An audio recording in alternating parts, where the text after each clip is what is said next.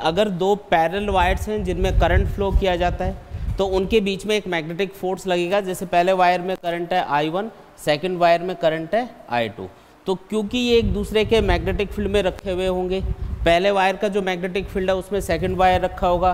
Second wire जो magnetic field produce करेगा उसमें फ़र्स्ट वायर रखा होगा तो दोनों पे एक मैग्नेटिक फोर्स लगेगा।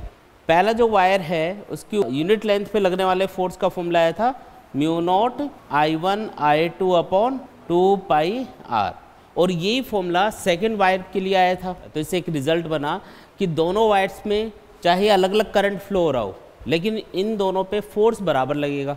डायरेक्शन क्या होगी फोर्स की? अगर सेम डायरेक्शन में करंट है दोनों वायर्स में तो क्या होगा?